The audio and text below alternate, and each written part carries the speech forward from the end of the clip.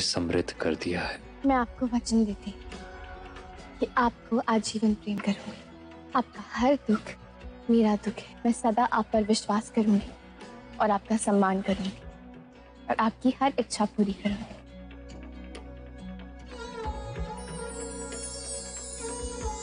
मैं तुम्हारे जीवन में सदैव आनंद और शांति बनाए रखने का वचन देता मैं जीवन के हर मोड़ पर किसी भी परिस्थिति में हमेशा आपका साथ दूँगी।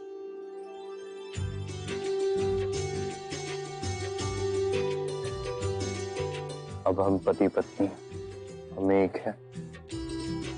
मैं जन्म जन्मांतर तक तुम्हारा हूँ और तुम मेरी। ईश्वर साक्षी कि अब से मैं आपकी धर्म पत्नी हूँ और हम आजीवन एक दूसरे का सम्मान करेंगे। और साथ में खुश रहेंगे। साथ में खुश रहेंगे।